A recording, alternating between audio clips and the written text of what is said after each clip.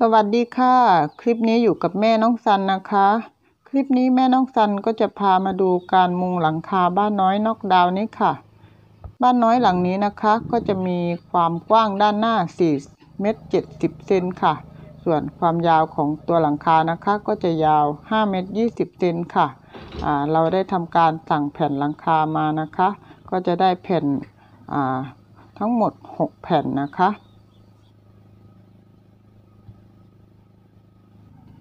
วิธีการยกแผ่นหลังคานะคะ เราก็จะใช้เชือกสองเส้นนะคะ มัดรวบแผ่นหลังคาสองฝั่ง จากนั้นก็จะทำการดึงแผ่นหลังคาขึ้นไปค่ะ แผ่นหลังคาตัวบ้านนอกดาวนะคะ เราก็จะใช้สีซิงค์ธรรมดาค่ะ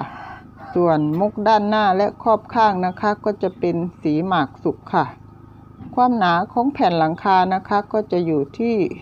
0.28 มิลค่ะ ราคาเม็ดละ 100 บาทนะคะ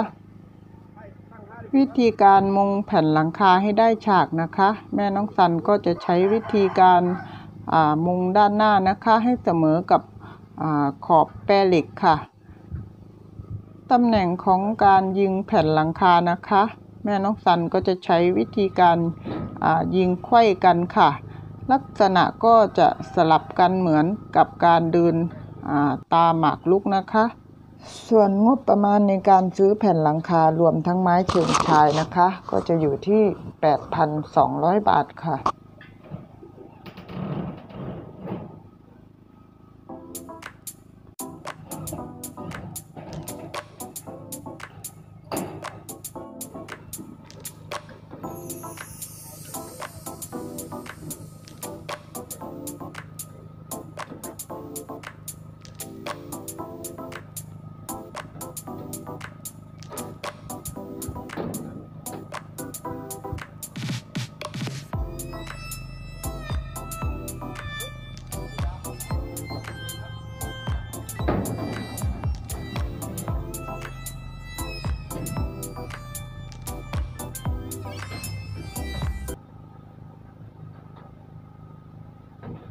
ตัวปลายของแผ่นหลังคานะคะ ก็จะยื่นยาวออกมา 10เซนติเมตรค่ะ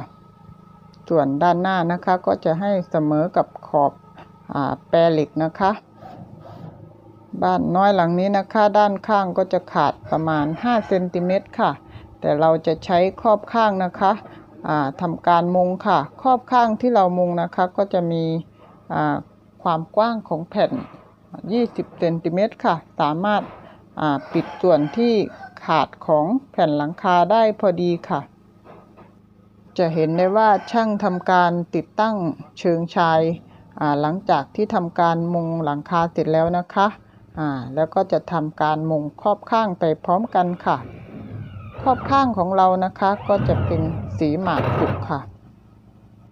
ส่วนน็อตสกรูยิงครอบข้างนะคะ ก็จะเป็นน็อตขนาดสั้นค่ะสำหรับยิงไม้นะคะ ความยาวของตัวน็อตสกรูสำหรับยิงครอบข้างนะคะ ก็จะยาวหนึ่งนิ้วค่ะ ก็จะโผล่ออกมาเล็กน้อยแบบนี้นะคะ ส่วนไม้เชิงชายของเรานะคะก็จะเป็นความยาว 4 เมตร หน้ากว้าง 6 นิ้วค่ะ ราคาแผ่นหนึ่งก็จะอยู่ที่แผ่นละ 170 บาทนะคะ ส่วนนี้ก็จะเป็นขั้นตอนการติดตั้ง ไม้เฉิงฉายด้านหน้าของตัวบ้านนอกดาวนะคะ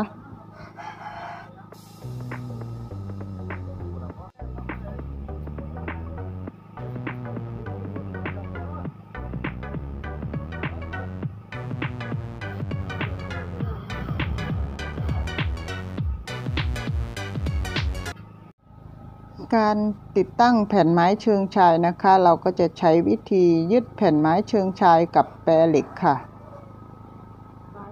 ส่วนหัวมุมของแผ่นไม้เชิงชายนะคะ เราจะใช้วิธีวางทาบชนแบบนี้ค่ะ จะไม่ทำมุม 45 นะคะ ส่วนราคางบประมาณในการสร้างบ้านหลังนี้นะคะ เฉพาะงานโครงสร้างนี้นะคะ ก็ใช้งบไปแล้ว 20,000 กว่าบาทค่ะ